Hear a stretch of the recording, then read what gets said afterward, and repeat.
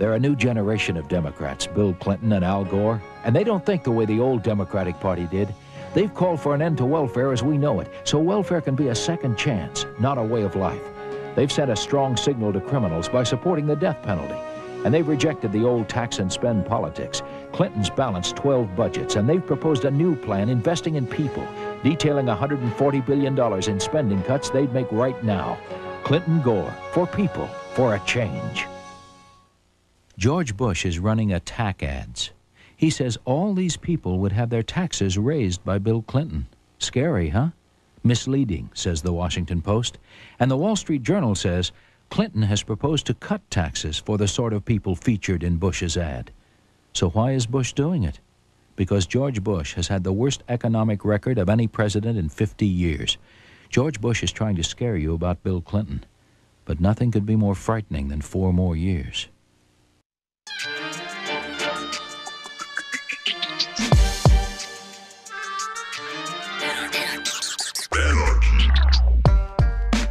It's 1992. We're slashing welfare rolls. We're killing black people who have the brain damage. We're doing it all. It's a new Democratic Party.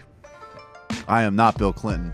I am Michael Brooks, and this is the Michael Brooks Show, where left is best, as it is everywhere else. We're broadcasting live from Brooklyn, USA, with super producer Matt Lech. Hello. Chief economist David Griscom. How's it going? Super producer David Slavic roaming the digitosphere and every other facet of the ever growing, ever expanding, ever aggressive Michael Brooks Show universe on this week's program. Ana Kasparian, she's a host and a producer for the Young Turks, and she and I are destroying one of the most dumb, craven, dishonest, stupid, low rate, pathetic, Koch funded, aggrieved careerist hacks in modern punditry, Dave Rubin. And then Bree Joy Gray, she's a senior editor at The Intercept, and more importantly, for our purposes, she's crew on The Michael Brooks Show. We're talking about Sorry to Bother You, why the oligarchs don't want you to see it, why it is the socialist movie of our time that captures class and race in distinct, sharp, terrifying, and funny ways. Plus, AOC and Bernie are hitting the trail, hit the trail in Kansas. Bree was there, and she has a message from the heartland. It's a message of socialist humanism that can win. We're also going to have to throw one of, and I say this a lot, so I want to underscore literally one of the worst people in American life in the latter half of the 20th century. For some reason, is still around. He's going into the gulag.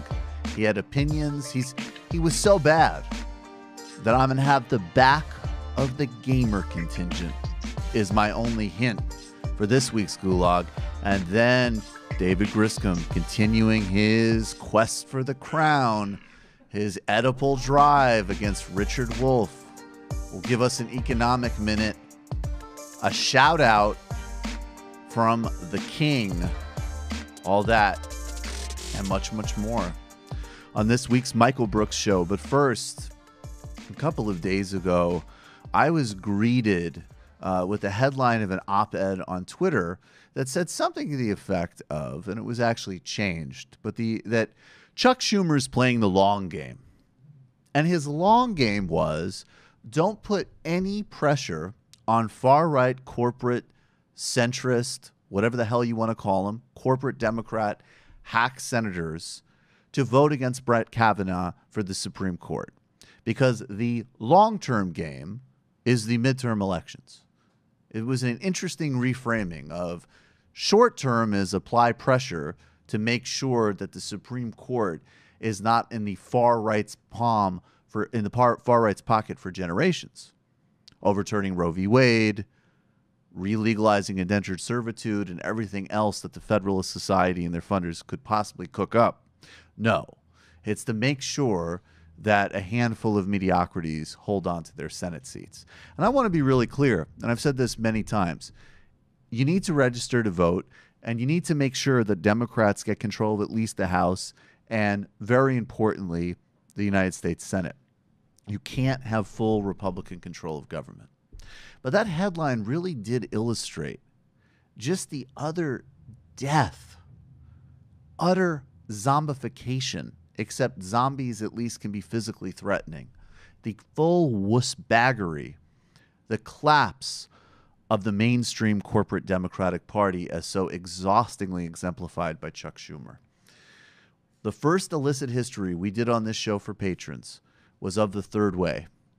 It is the ideological consensus that emerged from the 1980s of center left parties across the Western Hemisphere. And they also exported that toolkit to Brazil, South Africa, and Eastern Europe, as well as Latin America.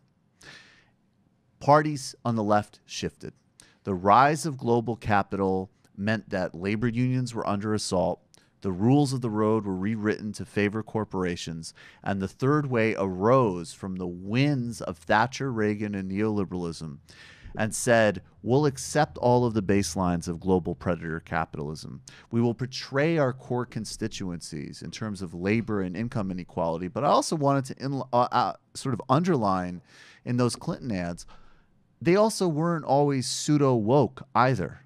The original Third Way was quite willing to play on racial division and appeal to bigoted and xenophobic sentiment, as exemplified by Bill Clinton's runs in 1992 and 1996.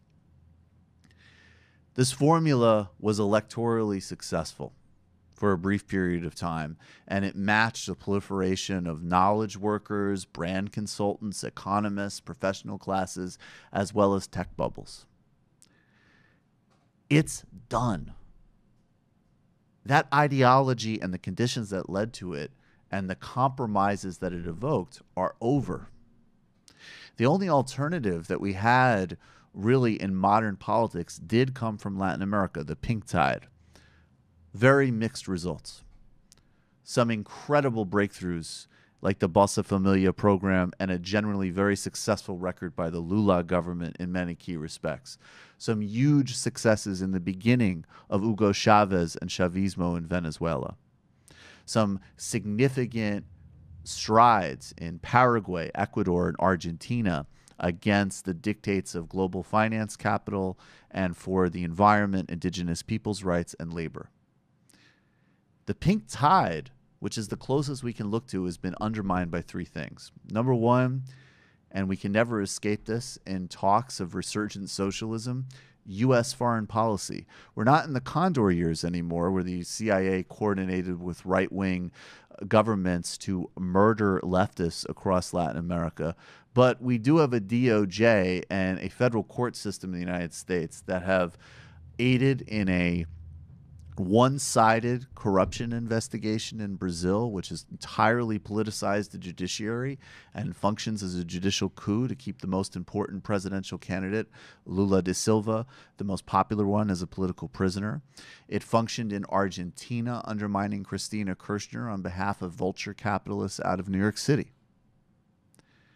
Second, those parties and governments' own failings. In some cases, obviously, authoritarian and corruption uh, problems in, if we're being honest, at times in Venezuela and Nicaragua, and conversely in Brazil, the failure to take on certain fundamental uh, sort of capital and oligarch regimes. That's where they made their own mistakes amidst their many successes and the relentless attacks, even on the most moderate of them, from U.S. foreign policy. So, number three, we need to recognize that the third way is dead, but we also need to learn the fact that they built a global model for themselves. They tried to literally export a global brand of governance. And so we need to recognize that along with Bernie Sanders here, the social movements here, Jeremy Corbyn in the UK, but also Lula Livre in Brazil, also fees must fall and land appropriation in South Africa. This is a synchronized moment for an actual humanist socialist politics. And it's not just an ethical demand that we coordinate it globally, it's a strategically necessary one. The third way is dead and you could see it in the exhausted, limp dick leadership of Chuck Schumer. And a new way is waiting to be born. And it's our job to synchronize the social bases, the movements, and the politics to make it happen. So Pick where you're going to protest, pick where you're going to occupy, pick where you're going to strike, and register and get out to vote. All of the above, it's synchronized. Guys, this is the open forum area as always. But I've been thinking about this a lot. I really would recommend people who are new patrons and just becoming patrons to go back and listen to that first third way episode because it's still as dead and as exhausted as it is, it still sets the template. I think it's uh, very important that when we're building strategies against the third way, that we do actually take that international approach. Yes. Um, in doing research over the development of the third way, you see that Bill Clinton and Blair and a lot of these folks, not only were they modeling off of each other, they were actually meeting and they were Oh, yeah. talking about this kind of Yep. strategy. And that's the really disadvantage that the left is at today is that we've lost the international that we had in the early 20th century. I mean, we don't have this kind of, you know, international left movement and you know we can't rely on you know sort of outside you know there's no like, kind of soviet union style force that was you know giving money to left Right. groups i mean that doesn't exist at all anymore and that necessarily wasn't necessarily a good thing in the first place um, but you know really starting to think internationally and building solidarity across groups is so crucial and i mean i think just you know finally you see that these kind of left movements that are happening now with corbyn and with sanders are really popular and that the ideology of the third way was never really something that was meaningful for working people. It was much more meaningful for a kind of alliance between uh, capital and, and the political class, which is why we have this incredible opportunity now to challenge that.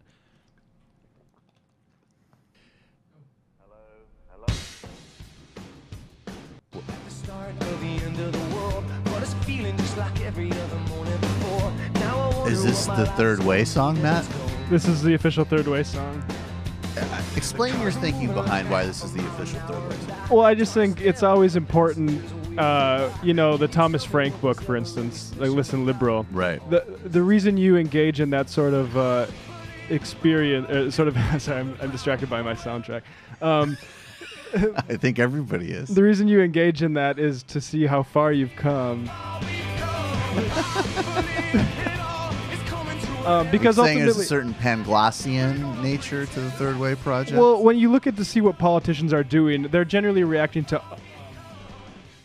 That's enough of that. They're generally reacting to underlying conditions, right? Right. Like, and not right. it's not their personal moral failing and willing to sell out that ultimately is really what needs to be policed here. Right. It's the it's the facts on the ground that they're responding to, and it is pretty remarkable to see those ads because I mean now it's sort of bottled down to what they want us to remember, which is like the economy, stupid. the economy was great. and that sort. But like, remember, like Right. I feel your pain. I feel your like pain. that, and it's like Not but- like, zzz, zzz, what's that? We're, it's a uh, mentally incapacitated black guy.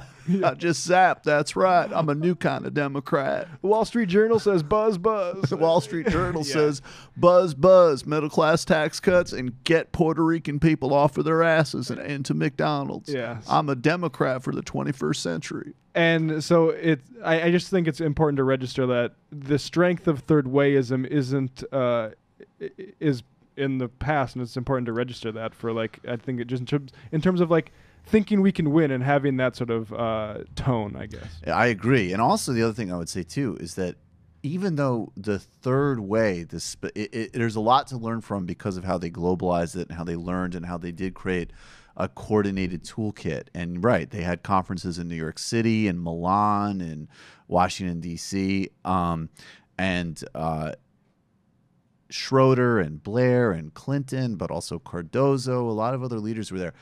But there is a way in which that sort of kind of the notion of social, moderation, limited government to train people to have skills for capitalism so that there can be limited upward mobility and quote unquote meritocracy, uh, along with a essentially a highly deregulated environment. that is the idea. Like, on one hand, you say, oh, what a weird little sort of 90s thing or 2001 thing. On the other hand, that's Steve Pinker's book. that is the governing ideology. In Sam Harris is the New Republic editorial page of the 80s. This stuff will never die because it will always be the default setting of a certain part of the elite that we oppose. Exactly, and like, that's, the thing about the third way movement and triangulation as a strategy, which was uh, Bill Clinton's.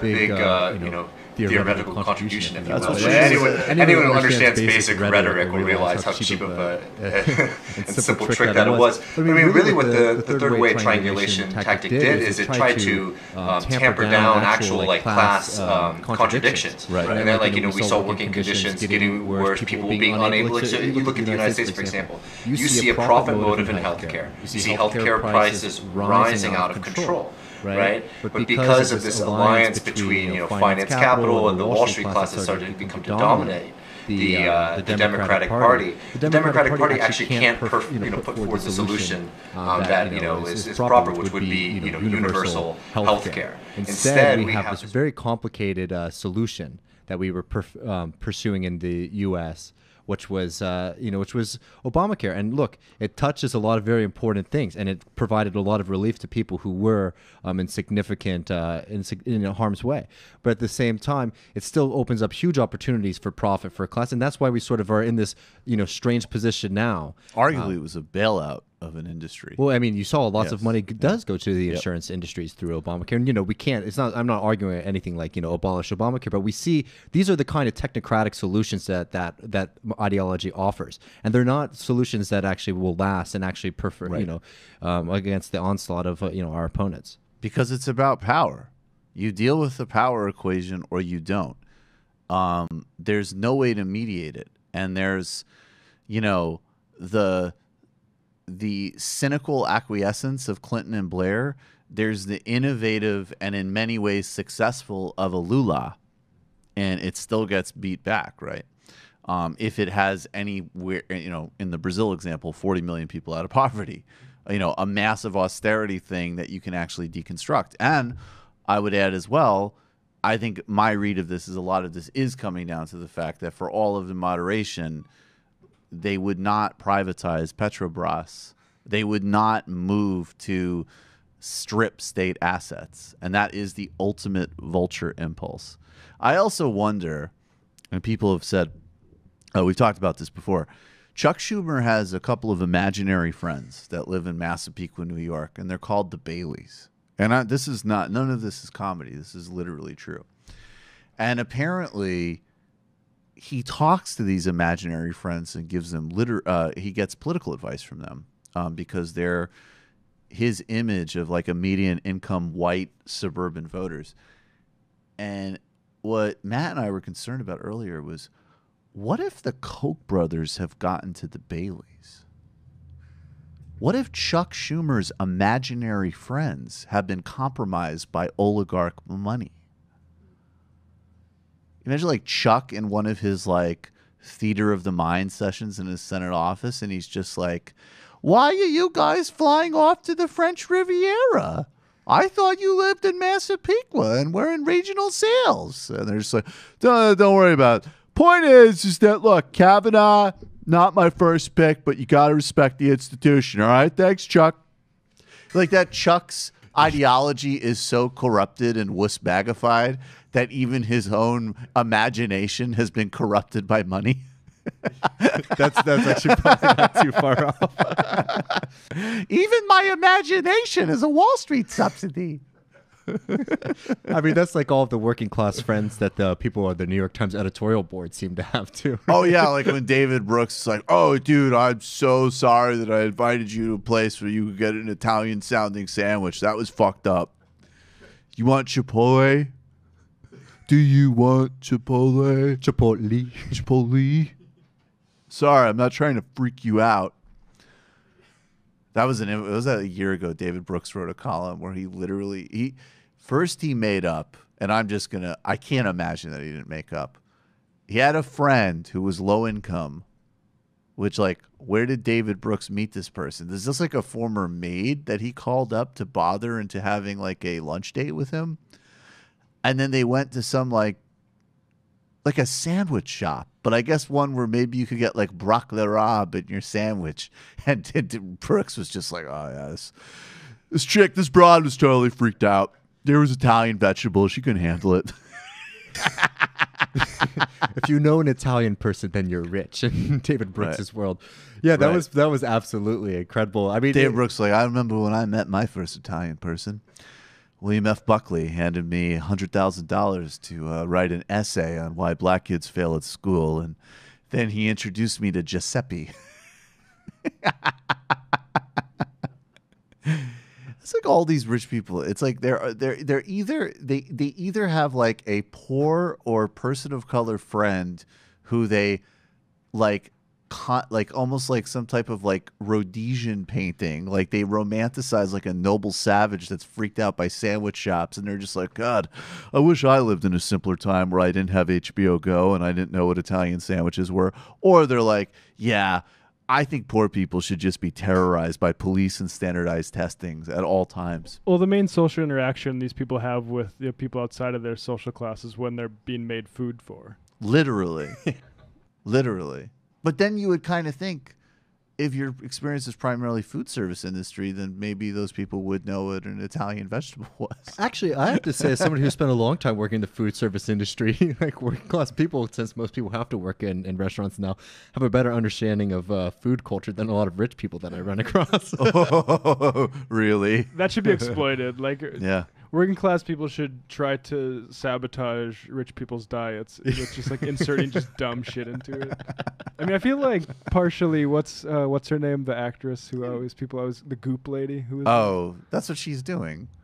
Gwyneth Paltrow is totally culture jamming rich Yeah. people. She's like, she's like, this is like bull cum. It'll be good for your eyes. and then she sells. And I'm, I always stipulate that if anybody in this world is open to like an Ayurvedic diet suggestion, it's me. That chick is out literally like, oh yeah, no, it's uh, it's the it is a uh, it is it is blood pus of a donkey. Yeah, we need to find it will reverse your aging process by we ten need, years. We need some sort of animal product that we can get really cheaply in mass, and then we need to put it in some sort of yogurt. That's class warfare. That's what we really need to be engaging right in. class war. Like for generations, the Tibetans stirred bull cum for like industrial runoff, but it wasn't in ancient China. It'll be great for your digestion. Um, all right, let's get to actually let's get to a guy that w- is to the shout out. Do we have uh, Danarchy ready? Get to uh, the shout out, shout out, shout out, creepy, shout out, shout out, shout out, weird. I think that's creepy. It- it- it- it's incredible. Shout out, shout out, shout out, shout out. This is crazy. Shout out, shout out, shout out, shout out. This is out of control. Shout out, shout out. That's creepy. Shout out, shout out. That's weird. Shout out, creepy. Shout out, weird. Shout out, crazy. Shout out, shout out. This is crazy. Shout out. This is out of control. Shout out. This is.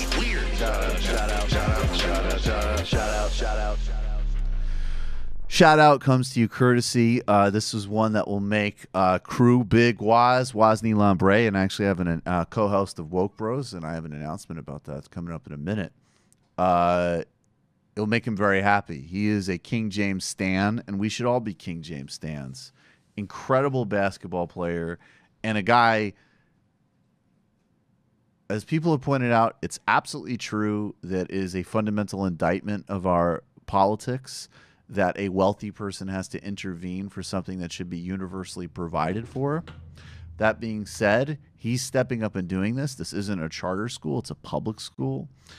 Uh, it's going to be in Akron, Ohio, and it is a school that's going to serve 240 at risk students and will be the, uh, attending the inaugural year of the I Promise School.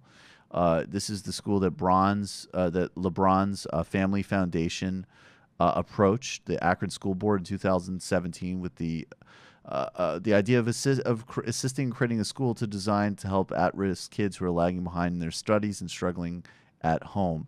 The school also has multiple interventions outside of the classroom and in the surrounding areas um, that kids need after school time, bikes, nutrition, various things like that. In contrast to another neoliberal poison promoted through Bill Gates and the Obama administration, the idea that, oh, yeah, a person's entire family and social structure doesn't matter. It just matters that we terrorize teachers into giving them tests. LeBron's doing the absolute opposite. It's an amazing project. He's an amazing, uh, really incredibly admirable guy. And here he is talking with Don Lemon And I appreciated the fact that in addition to talking about this great project, and in total contrast from, you know, I mean, the biggest contrast obviously being someone like Michael Jordan, he used this opportunity as an athlete, as a leader, to call out Donald Trump's uh, racism and divisiveness. This is uh, Don Lemon and LeBron James. Also, I don't know what's going on with Don Lemon. Don Lemon went from like a. I, I used to joke that Don Lemon was like the guy that like that Eddie Murphy pretended to be in Beverly Hills Cop. Like Don Lemon would walk around Upper East Side asking cops why he wasn't being stopped and frisked. And now all of a sudden, Don Lemon, Don Lemon's going to be like wearing a dashiki in a year because of Donald Trump's piggishness. All right, let's check this out. Are, are athletics important to th- these kids? Or you think it's their minds right now? No, I think both. I think um, I think athletics are important, but also their mind. I think both. I think it just plays. Um, it, it just bring when you're when you're part of sports and you're a part of your mind. It just brings some so much camaraderie and so much fun. You know, we we, we are in a position right now in America, more importantly, where this whole this race thing is is, is taking over. You know, and and um, because one because I believe our president is kind of trying to divide us, um, but I think kind of. Yeah, he is. he is. Not I want to say kind of. He's he's dividing us, and, and what I noticed over the last few months, um, that he's kind of used sport to kind of divide us, and I and that's something that I can't relate to because I know that sport was the first time I ever was around someone white, you know, and I and I and I got an opportunity to see them and learn about them, and they got an opportunity to learn about me, and we became very good friends, and I was like oh wow, this is all because of sports. And sports has never been something that divide people. It's always been something that brings someone together.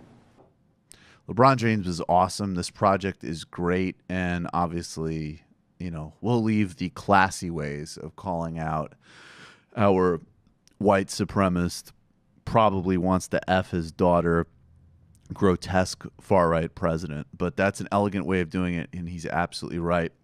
All right, we got to touch of housekeeping, and then I'm telling you, this interview that Ana Kaspari and I recorded a couple days ago,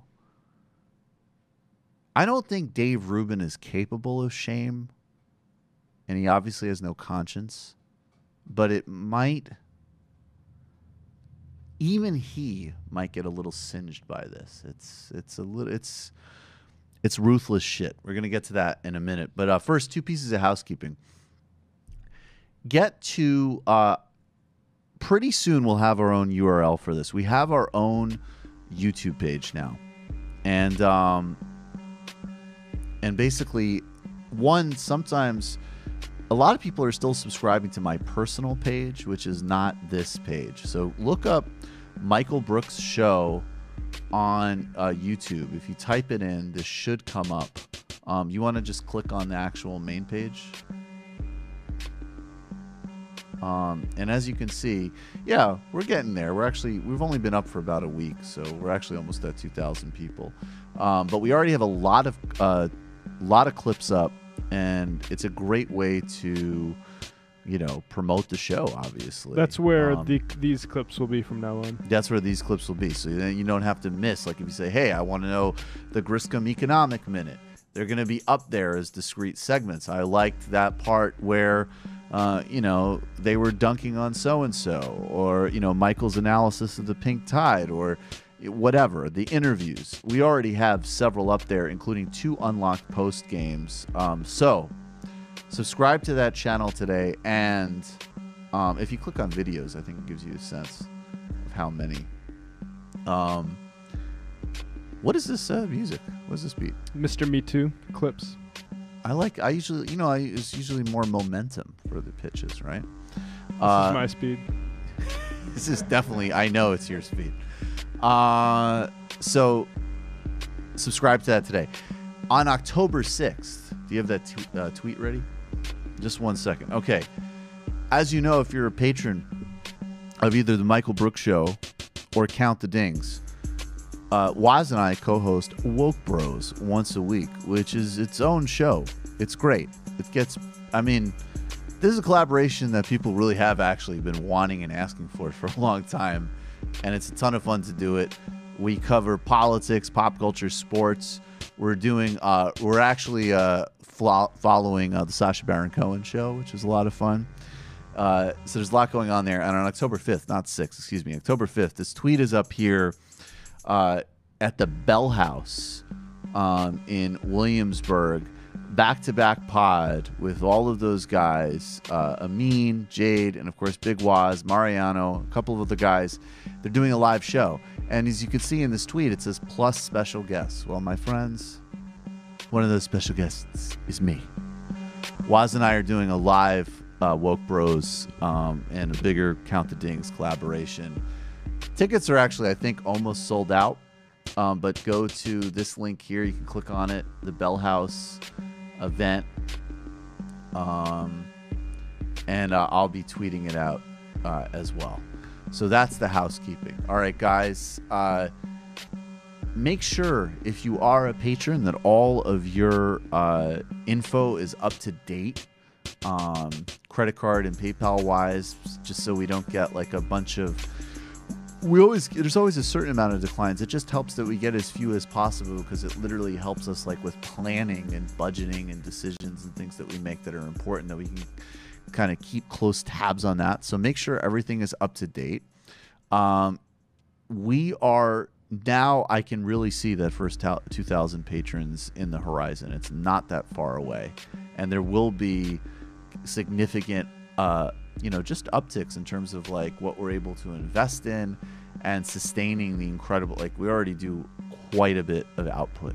Um, so it really makes a difference. It allows us to cover uh, all of the stories we cover, and in the way we cover it, we want to be obligated to nobody besides you. Patreon.com slash TMBS, Patreon.com slash TMBS. Check out all the different membership levels. If you're at 21 or above, we're doing regular conference calls. Those are fascinating.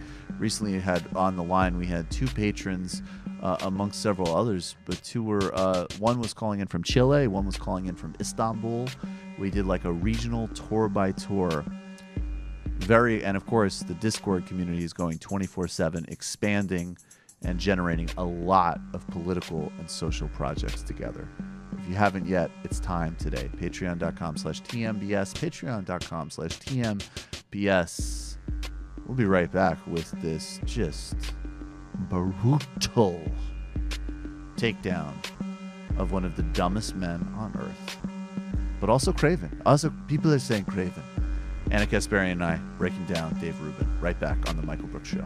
Welcome back to uh, the Michael Brooks Show. Actually, you haven't left, but this is in fact a pre-record. We're dropping in the middle of this show. It's a joint diss track that many of you have been wanting for quite some time. Joining me now is Ana Kasparian. She is a host and producer at the Young Turks. Anna, how you doing? Thanks for being here. Hey, thank you for having me. I'm very excited to be here. It's my pleasure. Um, I think that this has been in the works, even just like spiritually, for a long time. Um, yeah.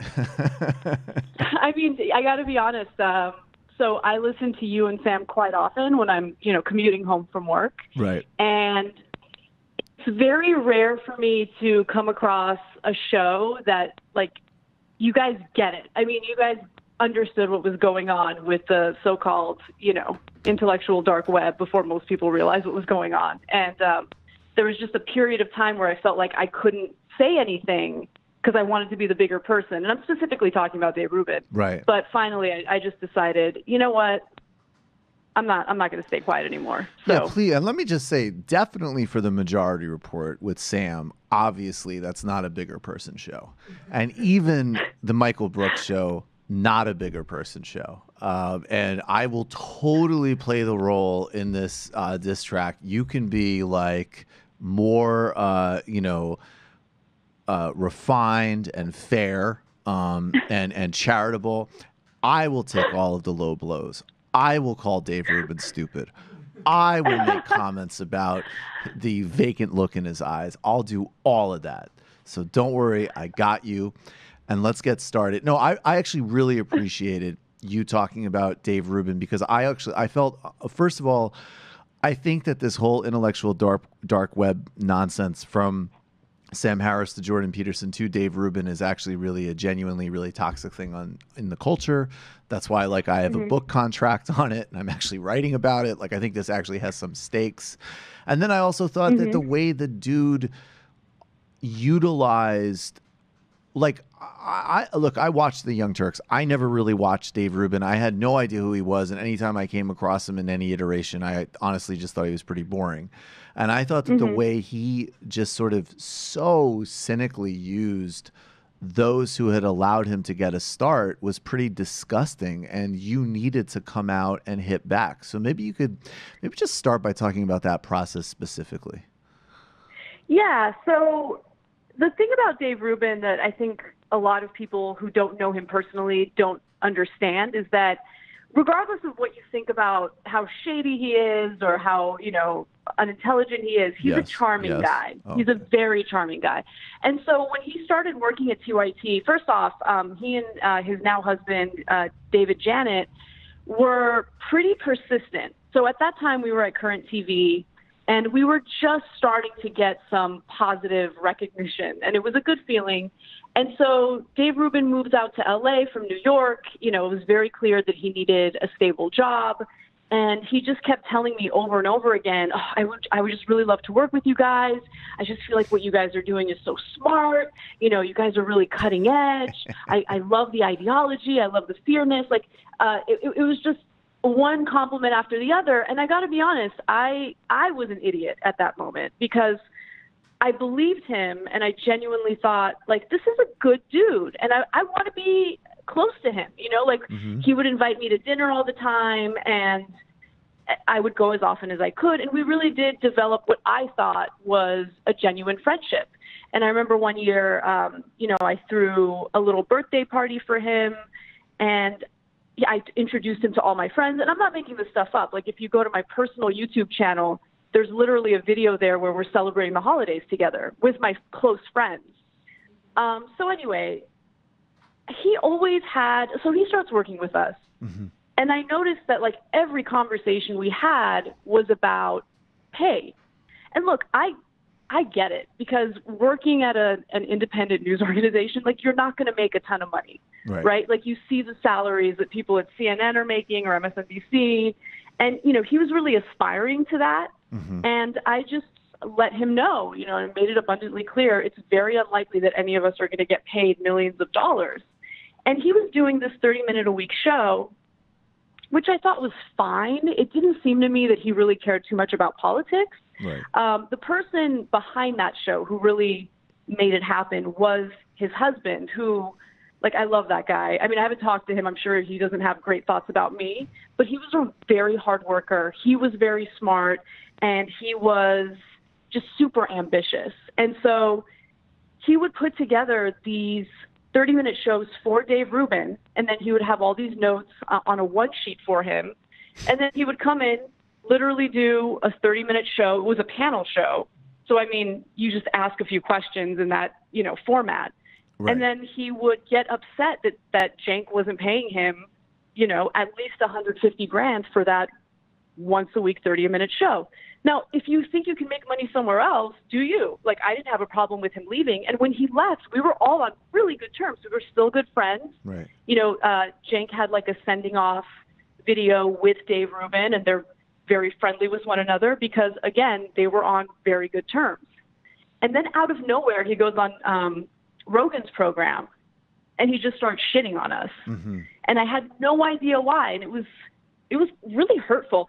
So I I messaged him. I sent him a text message, and I was like, Dave, what's going on? And he's like, No, no, no, I'm not attacking you. I'm attacking Cenk. And I was like, But first of all, you're attacking the Young Turks. I'm the like one of the main hosts of the Young Turks. I think even Like, people that know nothing about the Young Turks would say, like, or very little would say Cenk and then Ana. Like, you are the definitely one of the two most identifiable people with that brand. Yeah, I've been there for 11 years. Yeah. I've been, you know, hosting the main show for 11 years with Cenk. So when you say the Young Turks, that includes me. So, and, and even if he was just attacking Cenk, didn't make any sense. Cenk bent over backwards for that guy. Right. So let me give you an example. When he left, Dave Rubin wanted 100% ownership of his YouTube channel. Now, mind you, it was TYT's producers, TYT's editors, TYT's studio. Like that content, legally speaking, easily belonged to TYT. But Right. Cenk was like, you know what? I, no, I'm not going to be a dick. I'm going to let him keep 100% ownership of his channel, and any revenue that he earns, he can keep it. Like we're not going to try to, you know, take a cut or a percentage of that. And I thought that was really big of Cenk. And there were also numerous occasions where he said something stupid on the main show while he was a panelist, and then later would run to Cenk and beg Cenk to cut that out of the video. And Cenk would do it because he didn't want Dave Rubin to be harassed by audience members or whatever it is. And so it's just amazing to me that Cenk bent over backwards for this guy over and over again. And then he turned around and just started trashing us. Do you think so? I mean, because that's an interesting, like, there's this bigger ecosystem that he fits into, and he just kind of, you know, he's like the easiest interview on the planet for any type of Mhm. right wing, rebranded, old ideas, repackaged as, I mean, it is pretty funny that they call it the intellectual dark web, right? Like let's let's literally self-identify as like the secret part of the internet where you buy organs and child porn. But whatever, it's taking that aside. Did I lose her? Oh fuck. Sorry, man. I don't know what happened. Sorry. I don't know what happened. I have no idea what happened. I'm sorry. We'll just keep going. It's okay. Um, Um, yeah, I just the intellectual dark web thing. Yeah, I mean, I think that branding wise, that was probably a bad idea. and I get where they were trying to come from. You know, Right. we're hip, we're we're edgy, we're like we're very naughty for having these beliefs. But the re- the fact of the matter is, I mean, look, I think that Dave Rubin shouldn't be in the same group as these guys because even if you disagree with what you know, you know, Peterson has to say or Harris has to say, I don't deny that they're smart guys. Like I disagree with them vehemently on on some things. Um, Peterson more than Harris, but I I think that they're at least intellectual. And what Dave Rubin has done, which is what he tried to do with us, is find what's emerging or what could do really well or could go viral and just latch onto that. And hopefully, you know, you can kind of mooch off of the benefits, the financial benefits of being part of that group. Yeah, I mean, I think honestly, like I, you know, I probably have some disagreements with you about Harris and Peterson because I don't. I mean, first of all, I wouldn't. I mean, you know, I don't know. Smart is a relative term, and I and I do think that there are really toxic influences in the culture in a lot of ways. And I think, but 2 things Mhm. that re- that relate to what you're saying, though, that's in, I mean, one is the it, one the bigger point is what does it say about all of these guys that they're so willing and excited and happy to have a clear, just sort of blank slate, nothing media operator like Dave Rubin be one of Mhm. the core sort of like PR conduits for not only their ideas, but also like Mike Cernovich and Milo and all of Yeah. these things that I would, frankly, I would put them on the same continuum as 100%, but I'm sure they would want to have some distinct branding from. And then number two, I think you have also identified Dave Rubin as like basically just a, a type that stands alone in media as just like this completely amoral, totally mm-hmm. free floating, committed to nothing, and just a scavenger. Yeah, he's that is the best way to describe him. And you know, a lot of people so since I've been, you know, doing these videos kind of responding to him. And by the way, the only reason why I've decided to speak out is because it's now been several years since he's left and he still like makes a point to go after us. He still tries to profit no off of you guys. It's his it's his religious narrative. Exactly. And so finally I'm like, okay, look, you're going to keep doing this, then I'm going to speak out. And so his fans will will come after me, which I think is hilarious. They'll be like, "You're just jealous." and here's the thing: um, I am jealous, and and the reason why I'm jealous is because he has a certain ruthlessness that's necessary to succeed in this system, and I just don't have it. Like I, I'm jealous that he is able to experience a life void of any, you know, consciousness, um, guilt. Like it's amazing to me because, like, here's the fact of the matter is, when he was working at TYT, he knows this very well. Um, that was when I started getting offers to leave TYT, and one of the offers was insanely lucrative. Like they came at me with basically triple what I was making at TYT at that time. And I said, but they said, we need you to be exclusive to us. You need to leave. Right. And I wasn't willing to do that. And they kept coming back at me with more money, more money. And finally, I was like, look, if you guys are unwilling to allow me to stay at TYT and do this show simultaneously, then no money is going to make me leave because I knew that TYT would always allow me to speak my mind and they wouldn't censor me. And that was more important to me than making a lot of money. And so if I wanted to be like Dave Rubin, you know, successful, that's a very easy thing to accomplish in this world. You just have to be super, super guiltless. And I don't have that in me. No, I think, I mean, right now, we could, hey, Ana, don't you think women should maybe like shut up? And the best way to Oh. have air be clean is obviously to deregulate industry because you could write Yelp reviews of it. And if we were serious, we could Mhm. get bankrolled by the Kochs today for that show and yeah. kill it. Exactly. We could crush it. exactly. It's the easiest Yeah, hustle on the planet.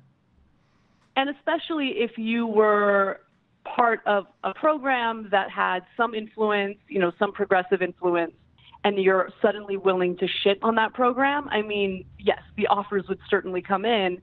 But look, at the end of the day, this isn't just about me. And I don't know, some people tell me I'm stupid for thinking this way, but hopefully eventually we'll see some positive changes. It's not just about me or my financial stability. It's about what I want to leave behind, right? Right. And I'm not just talking about like my own family, I'm talking about this country. Like looking back, I don't want to be remembered as someone who was like, oh, the Koch brothers offered me a ton of money, so I decided to lie to everybody and pretend as if global warming isn't happening. And also, I just don't want people to think I'm stupid. Like, I don't want to look stupid. And Dave Rubin looks stupid on a daily basis. on a on like a I mean, as far as I can tell, like an hourly basis because I've looked at his Twitter too. but I mean, wait. So Ana, you're telling me that you don't want at a specific point in American history where children getting kidnapped and put in cages, where inequality exceeded like the medieval era, where the last moments to reverse a catastrophic climate crisis, when like the whole global balance of power was shifting, you didn't want to be known as Mhm. the guy who was on TV on YouTube being like, you know, like what's going on in Oberlin's crazy. It's crazy. and you're not promoting rape. You're just saying it doesn't technically exist, right? You don't want to be that oh person. Oh my god. No, don't want to be that person. I watched one of your takedown videos where you said something along those lines, and I was driving and I just started laughing hysterically. And I just remember being like stuck on 405 traffic, and uh, the person right next to me was like, "Okay, well that person's insane," but it was just so funny. That's awesome.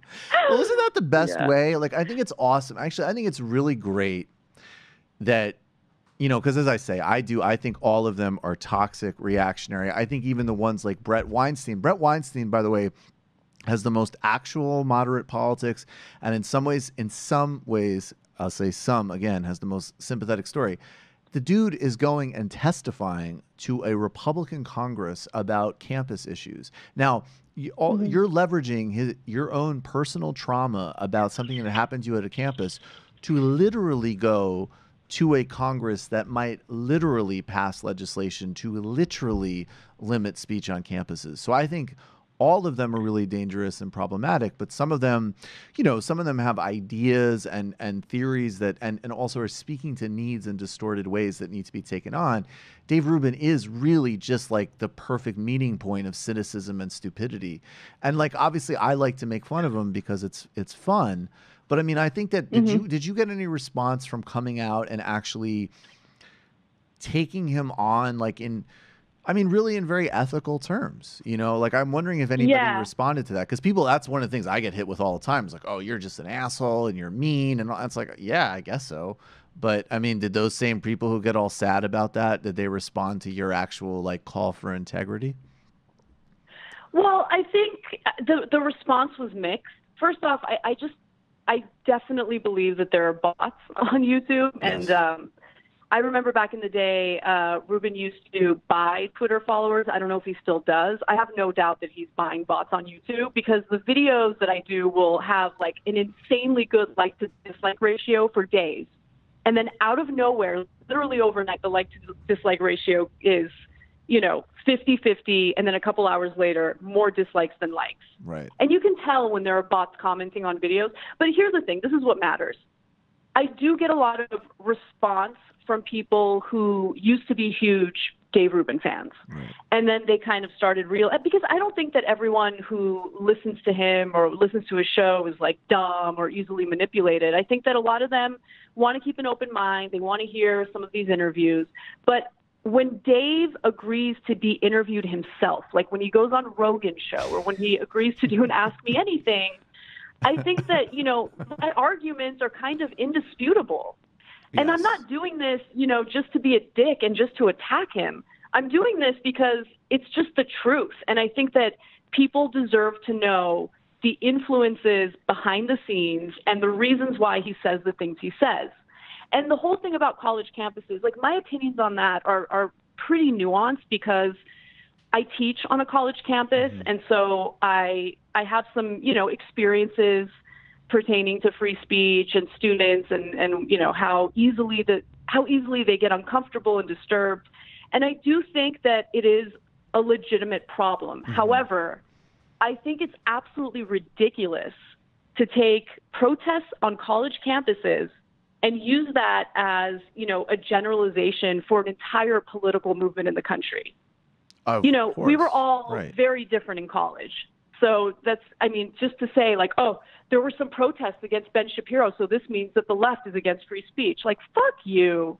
Come on. That's I mean that's and also the other thing too that I and I agree with you actually just even strategically like I think I've said this a million times like you know if Ben Shapiro comes to your campus go up to and if you want to buy I would actually say just ignore the little prick because like most of the reason that anybody even knows who he is his like a little overgrown like conservative media lab creation is actually because he's harnessed people freaking out at him but if you want to go Right. and you want to kind of disrupt him then go read an excerpt of one of his novels like it's it's embarrassing come on man like do something Yeah. that that really but but at the same time like to be technical too which i think is also important that none of that stuff is in the legal and properly understood sense a free speech issue, right? Like the way those guys Correct, use free yeah. speech is like Dave Rubin's violating my free speech for not hosting me on his show and dunking on him. He's violating my Right. free speech actually on a daily basis by not giving me a platform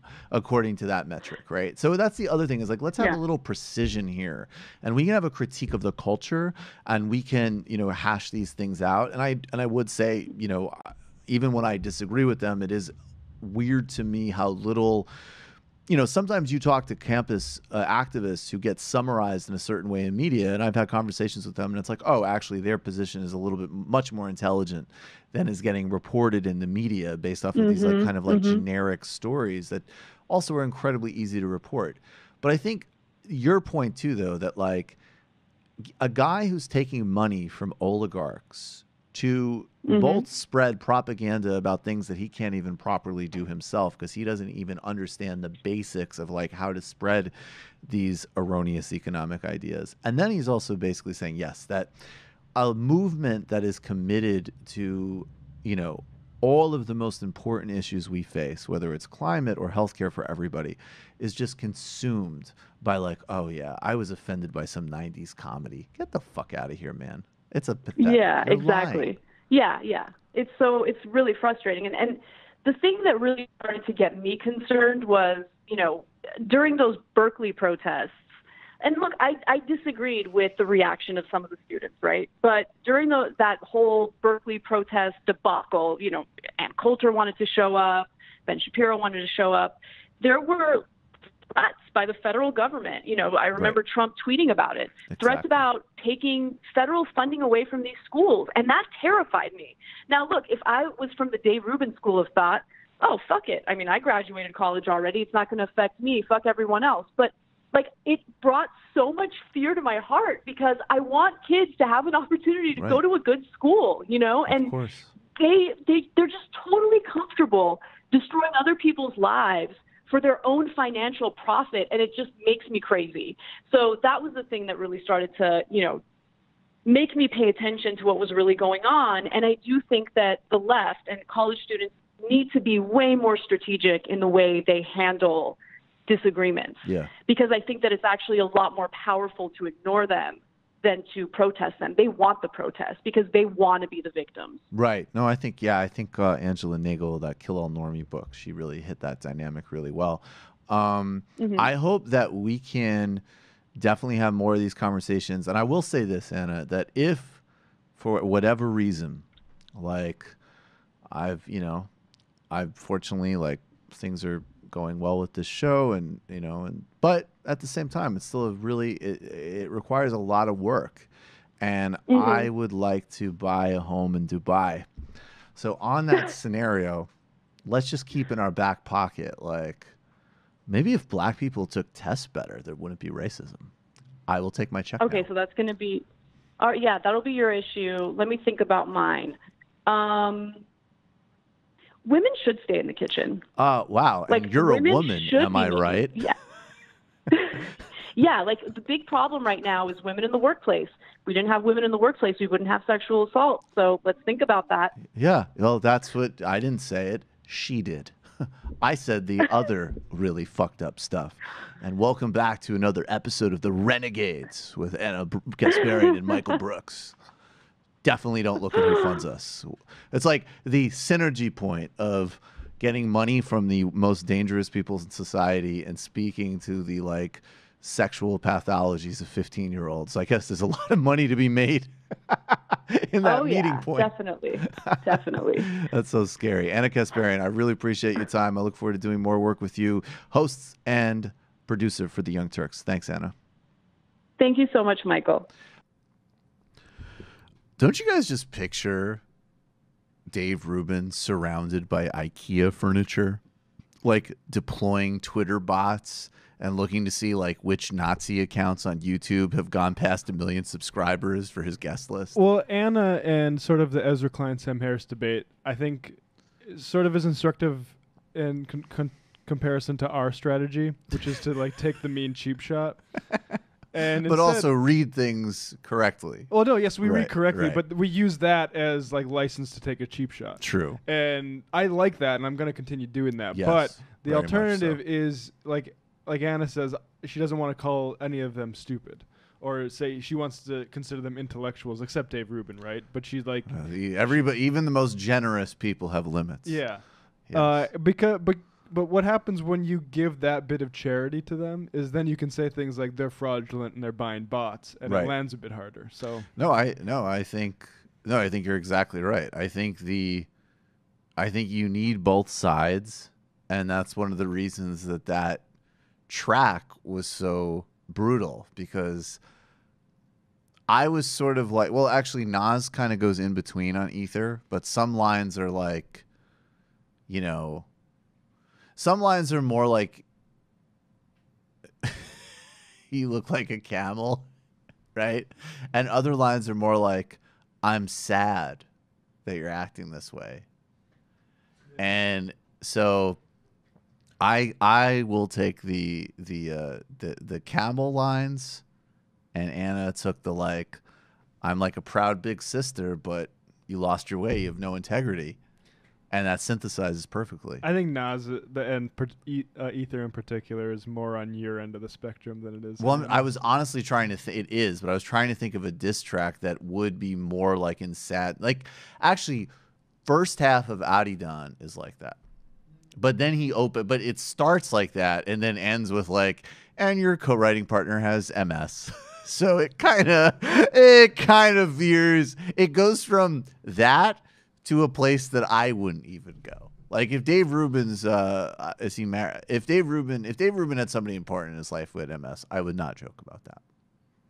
I might say uh hopefully they don't have, aren't victims of the healthcare policies that well actually I don't even know what the healthcare that wouldn't even be a joke though. yeah, no, that would that would no, exactly. That would just be an observation. But I wouldn't go tick tick tick. That man is sick sick sick. you know, I wouldn't do that. That even for me. It's because you're uh, completely against punching down. well, I mean, when you put it that way, there's a lot of punching. Punching happens in many ways. Let's punch up. Let's punch up. Well, I mean, the great thing about the very inviting part of Dave Rubin as a target is it's a beautiful hybrid experience of punching up and down simultaneously. That is like the very fun, like comedic pressure valve that the, the guy gives. It's like you know in baseball the uppercut swing, Mhm. like Ken Griffey Jr. Even Yeah. though that's not a very efficient way to swing, it looks really cool. Right. I don't know why I'm going there. It's cool, man. It's all right. It's a good image. Okay, let's. when they go low, you go for the uppercut swing because it looks cool on TV. Ken Griffey Jr. 1998. Um, and now, a segment which I take a risk doing every week. I will say anything about any IDW dirtbag, about any uh, Wall Street or oligarch goon that owns the global economy. I'll say anything about the foundations of capitalism, but I am afraid and increasingly concerned by some of the texts that I'm getting regarding this segment that we're about to do. Um, but yet we persist. Uh, I would just like to say, Miss, Mr. Wolff, nothing but respect from me, presumably from Matt. I'm sure Matt's choked his way through a couple of bong hits. Team David listening- Harvey all the way. Oh, shit. Wow. Matt in a pincer move in support of Griscom's. Guys, I, this is funny, defend but is the defend music ready? all David thought. David thought economic minute with David Griscom, that little prick with the Oedipal complex. Let's do this. Well, I'm sure we've all seen those uh, stupid stories that warm every suburban dad's heart about supercommuters, uh, people who have to Yes. travel four or five hours to get to work. Yes. And of course, uh, we understand the uh, structural reasons why that those stories are quite uh, depressing, rather than um, encouraging stories of perseverance. Oh God. yeah. Um, but I wanted to talk about supercommuters um, a little bit more broadly because it is actually something that is on the rise. And primarily, most supercommuters aren't those those folks that we're talking about who are taking you know 10, 15 buses to get to work. A lot of supercommuters historically have been rich people, so people who you know want to work in New York City, but they want to live in the suburbs, and they so Right. they you know take a job like that. Don Westchester. Draper. Yeah, exactly. All those characters. But over Yes. over the last uh, decade, Definitely the, number- go-to for an economic section. Yeah, that would be a- fictional character. That's like one of From those the terrible 1960s. college courses. So we're Yes. thinking Mad Men and not Sopranos here. Um, but you know, over over the past decade, we've actually have seen uh, the, a significant increase um, in supercommuters, especially among uh, low income and working class uh, workers. And you know, these are in areas that you s- would sort of expect. So these are like Stockton, California, Modesto, California, New York City, Bridgeport, Connecticut, San Francisco. Um, so these are all communities where you have these like super powerful economic zones, which are becoming more and more unaffordable to live in if you are making a low income working class salary. So what we're seeing now is this large increase, um, not only in folks who are becoming supercommuters, but in the amount of time that it's taking for folks to get in. Um, and what is what's a major cause of that? Well, most of the low-income workers who are supercommuters use public transportation. So that's even in a city like New York, where it's like just to get into Manhattan, if you're in one of the um, outer boroughs, we've seen the degradation of our public uh, transportation system. Um, it's taking people longer and longer to get to work, which is increasing the amount of time that it takes to get in. I mean, you know, I mean, we, I don't even have to paint the picture of how terrible it is to have to commute. You know, 90 minutes, 120 minutes, an hour and 50 minutes. It's very rough. But just to give you an understanding of how much it's increasing, I have a couple numbers for you. Um, the worst city, of course, is San Francisco, where the amount of supercommuters has increased over 113%. Um, another city, Seattle, home of Amazon, they've seen supercommuters increase by over 65% over the past 10 years. And Portland has seen their share increase from 50%. Now, what's a unique thing about those cities? These are all tech cities, Right. run by our favorite people. You know, Google, Fang. Amazon, the, The Fang, Fang. the Fang Bros. And what's happened in these communities is not only has their public transportation um, systems sort of been degraded, home prices have increased because what happens uh, when you have these tech these tech companies move into cities is you have home um, prices just skyrocketing because you have half the population making two hundred fifty thousand dollars a year. You have all of these services that come in that are only geared toward the wealthiest members of the community, while you see working people suffer. You have that mixed with the fact that these uh, companies move in there and they demand tax cuts, they demand Right. uh, you know cuts in revenue. So in uh, Seattle, we saw what happened with the city government, where even after trying to pass a very moderate uh, head tax on employees, Amazon basically threatened the city. This is becoming a huge problem across the nation, and it's something that is expanding. I mean, we're seeing uh, homeless populations um, in Seattle. The homeless population is around 11,000 people. Uh, and think about this for a second. The, uh, it's only the only cities that are bigger are New York City and and L.A. New York City has uh, seventy six thousand, and L.A. is around fifty five thousand. And many of these people are newly homeless. Many of these people are people who had lived in these communities who have been uprooted from their homes because they can't afford to live anymore. I think it's really important that we start thinking about the social costs of these tech industries, not just in the disparity of wealth, but in what they do to communities. Right. Um, the, the the flight of capital, the flight of, of avoidance of taxes, has decimated city governments, and now we're d- watching this disgusting um, example with mayors fawning over Amazon's uh, second headquarters, So and they're demanding So between five billion and ten billion dollars um, in tax breaks to move into a headquarters. It's a mafia organization. So look out, cities less than the mafia, getting by people who are theoretically public servants while they extort from the cities that they would uh, plant their businesses. Disgusting. No, just disgusting. without a doubt, and we need to start seriously talking about solutions. And I'm just going to say this: I know it's going to get a lot of people very angry, and- my uh, email bo- inbox is ready for this. Wait, wait, hold on. But we need to start talking a little bit more seriously about this UBI fetish. And we'll talk about universal basic income in the future. But there's a reason that uh, people like Elon Musk and Jeff Bezos Right. and Mark Zuckerberg support it. Now, I know before I get a bunch of angry trees, there are many different types of UBI. I understand that I'm not necessarily against the idea. But what I'm going to say to you is this is that we have all these social programs, we have all this social spending that has been absolutely decimated by these corporations. And I just think at this moment, we need to be talking seriously about uh, reforms that we can achieve that aren't going to harm people. Because a lot of the UBI um, platforms that I'm seeing raised are very much focused on automation and very much like Yes. tech centered. And they won't solve these problems because you look what these companies want to do in these communities. They want to avoid paying taxes. They don't care about the social services. And there's no reason to think that they're going to, you know, come of, you know, have a change of heart when it comes into these new solutions they have for the tiered society that they are creating. UBI for these people, for the tech sector, and the way UBI will be introduced in our current politics. There are good UBI programs, even moderate runs. The families, uh, Bulsi- uh, Familia, Lula, that was a very good program. There's much more radical conceptions of UBI, which really essentially are decoupling work from worth and freedom. That's fine. I think those are great. The way that it's going to be delivered by these people, this is their concept of 21st century tech feudalism of how to keep the serfs from uprising. Exactly. Any proposal that they put together that is forwarded by these people will be regressive, uh, disciplinary. The literature of Frances Fox Piven on the welfare state disciplining people is going to be this to the nth degree with any UBI that comes out of a neoliberal Silicon Valley framework. It's very dangerous. And, and let's just not forget, and just- not fundamental. And let's not forget that you know these tech companies largely have profited off of uh, public and social good, off of uh, government programs that have in, you know created a lot of this technology that they are now using.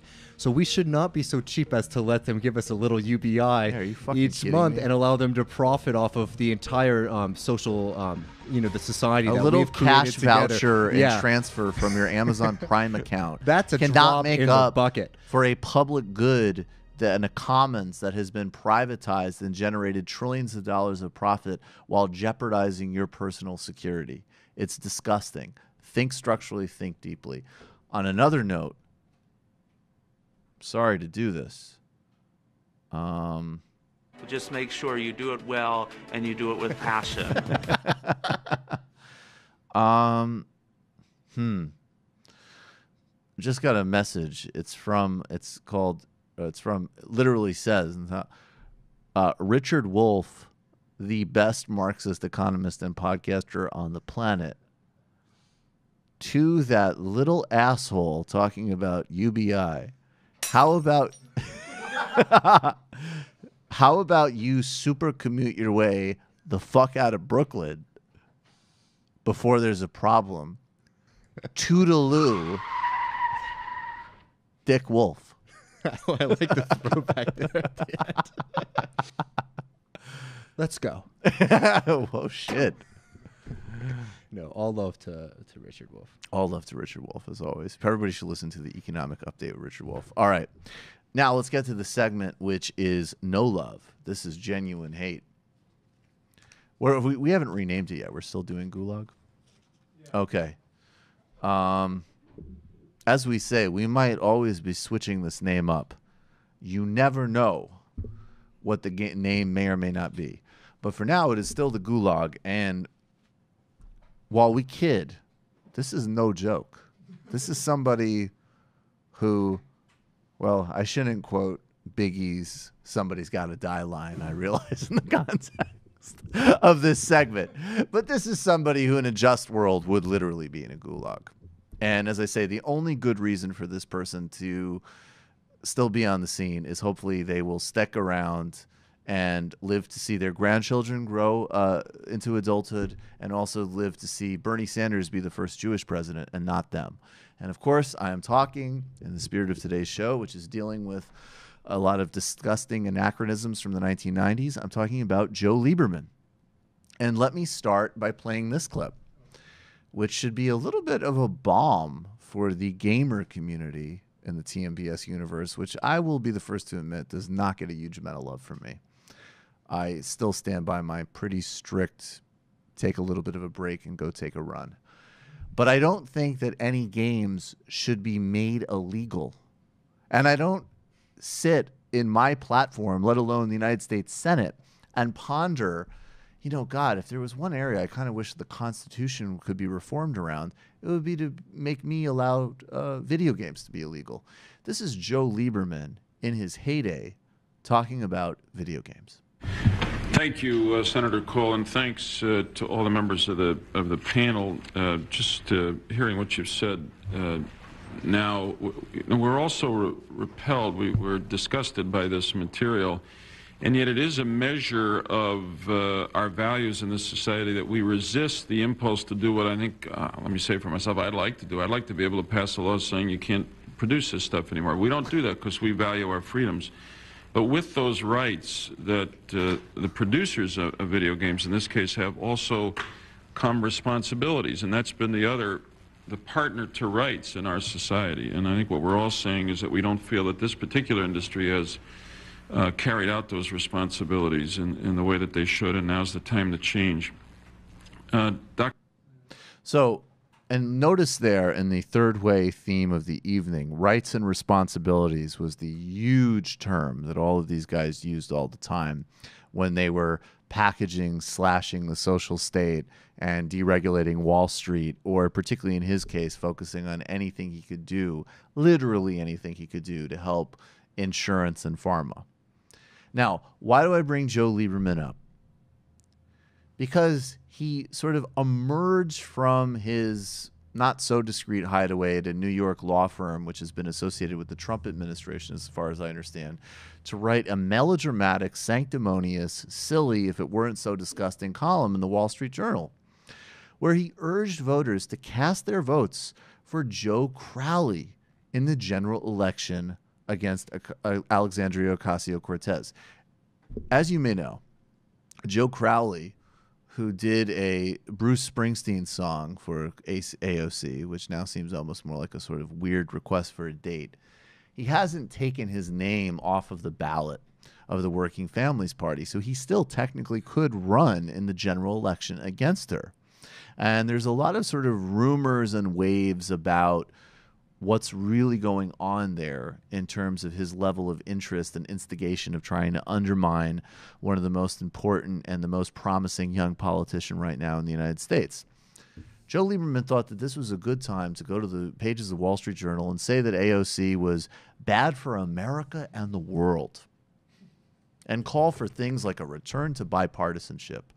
Now, do I really even need to fill in that while this guy was spending most of his career worrying about Bill Clinton's uh, cavorting with an intern or trying to ban video games, that he supported every single military endeavor that he had the opportunity to vote for, from the invasion of Iraq, the war on terror. He's advocated bombing campaigns throughout the broader Middle East, Kosovo, of course. He was a major supporter of so called welfare reform, the consequences of which we're still living with today, and the racialized rhetoric that we saw in that Clinton ad defined so called new Democrats for a generation.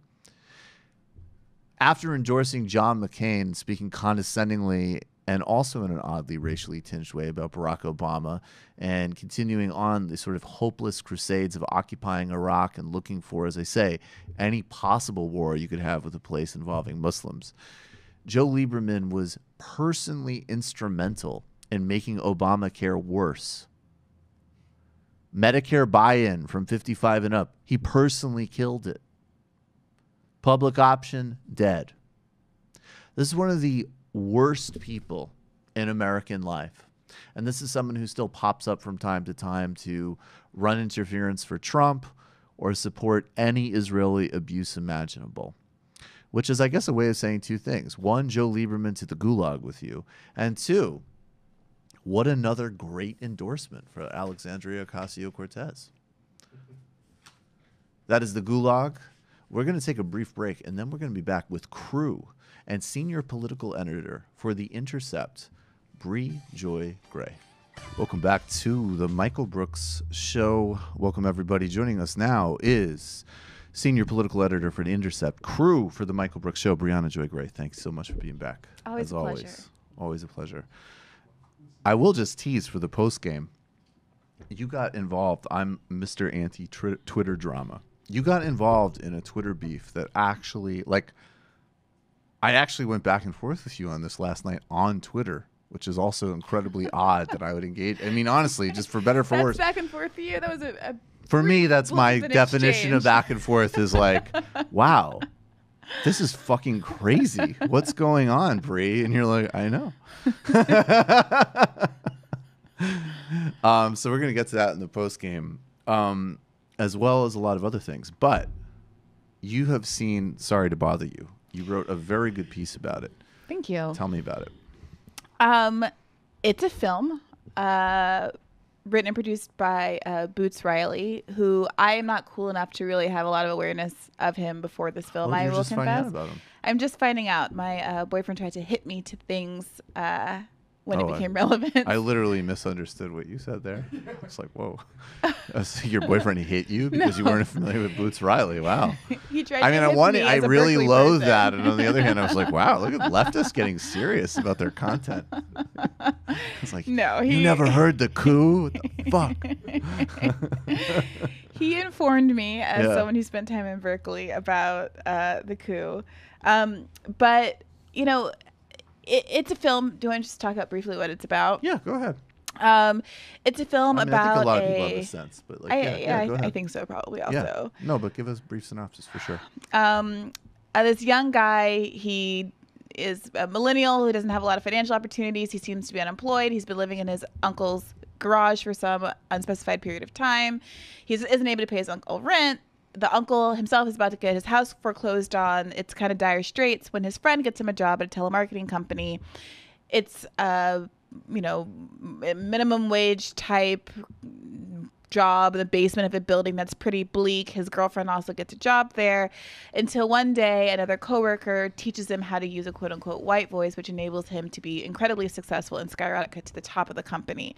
At which point he He has an exceptionally good white voice. right. And the white voice isn't about, you know, this kind of 90s uh, com- BET comic view caricature of a white voice. It's supposed to be this this voice that expresses this kind of aspirational uh, kind of contentment. This this sense that you don't actually have a care in the world, that you're worry free, if you will. I think they say your bills are paid or something. Your like bills that. are paid. It's very. It's a very. It's a very class mediated definition of race. Yeah, It's not like yeah. It isn't like the, like, exactly. What's going on here? You know, Yeah, I mean, it- yeah, it Def also Comedy sounds Jam. like it does, it does. It- well, that was actually what I was gonna say. I It's had a, David Cross. I had a minor quibble about that actually because they, they I loved the distinction that Danny Glover character drew, and then David Cross started talking. I was like, Maybe it should have That's the sounded voice. like uh, yeah. I was gonna say like uh, should have sounded like Armie Hammer, Yeah, I mean, actually, yeah. I mean, it right. who plays the, the Right, villain later in the movie. Right, but I mean that that actually right. He did have that voice. Right? Yeah. And then David Cross's voice was it was great, but it was definitely it was like this sounds very Martin Lawrencey to me. Yeah. Um. Okay. So so he does the voice. He skyrockets to the top. Yeah, and at the top, no spoilers, but he realizes that there are ethical, significant, huge, overwhelming ethical implications for the products he's being asked to sell. And, me- and meanwhile, all of his friends down in the basement level have organized with the help of this organizer played by Steven Yeun from Walking Dead, um, and they've gone on strike. So he's got both the ethics, ethical concerns of the things he's able, being asked to sell up top, and also the ethics of crossing the picket line Right. every day to go into work and earn all this money. But the money enables him to help out his uncle, pay off his Yep. house, and move into a new apartment and have some kind of personal dignity, get a new car, um, you know, things that he wasn't able to do before. You know, take his girlfriend out, feel like a valued and prote- pr- productive member of society. And that's one of the things that I really liked about the movie that it wasn't just that he made the money and got material things. He made the money and he was good at his job and that mattered to him. Psychological dignity. Yeah, because when you live in a world where that tells you Right. that your personal value is so tied to your professional value, there is it's more than just being able to earn an income. It's that satisfaction you get by being to, uh, about from being told you, that you matter. Right. Um, and so that that meant that for a period of time in the movie, I mean, you you don't begrudge him immediately when he chooses to persist in this job because he really was depressed I didn't in the begrudge beginning. him at all. I think it was a very good thing across the board in that movie was that it was very and it did reflect I mean Boots Riley is a communist and it reflect like that movie was not about individual sort of perfection or heroism pers- persisting against circumstances at all Yeah. including down to like uh, whatever I, I don't i'm very i don't i think if people get upset about spoilers they have to deal with that so we will try to not Alright. give you all the I mean, spoilers it's your show. We can do it whatever, whatever way you want. well i don't need to like tell them the twist but like we're gonna talk about it and Sure. you know so and this isn't like you know this isn't a you know a fucking i don't know agatha christie novel. Like this is not like oh man you discovered capitalism was bad. The whole mystery was blown right? But i think that the fact that they as an example the labor organizer you know I was talking about this on Champagne Sharks with T, and I've had a, this conversation with a couple other people, and it was always came up like, why was it that he had this kind of like sort of, I don't even, I don't even know if I would say honestly, I don't even think it was sleazy, but he had this like other angle, like this other sexual, um, like interest in the guy's girlfriend, right? And for me, my interpretation was just really simple. It was like he's a good organizer. He's right about what they need to do, and he's also like a dude. Yeah, he was. and cute. that's it. Like that, that, that, that it just reflected lack of. I mean, and and frankly, conversely, even the real evil guy had a story of self justification. I thought the movie very much across the board was pretty good at like. It's about systems, not people. That really is the emphasis. That Yeah. was my read.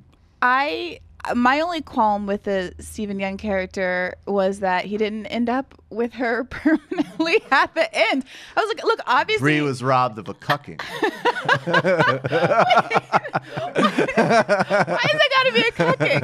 Look, he was well, it literally was, a cucking. I mean, why does it? Ha- I don't know. No, they like per Tessa Thompson's point. I'm sorry, I forgot the names of all of these real these characters uh, in the movie. But per T- T- Tessa Thompson's point, they broke up. They weren't on a break. It wasn't ambiguous.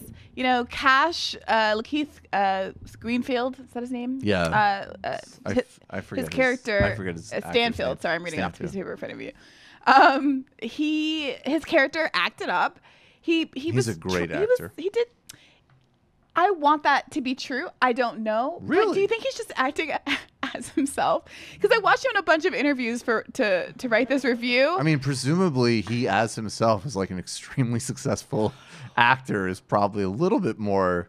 I don't want to diminish him, and I don't want to do that thing where a lot of people that a lot of people do with black actors, where they're you know they'll be like in the wire and they'll be like, oh, that's not acting, they're just that way, but they're like a Juilliard trained actor playing like a gangster. I, I don't want to do that thing.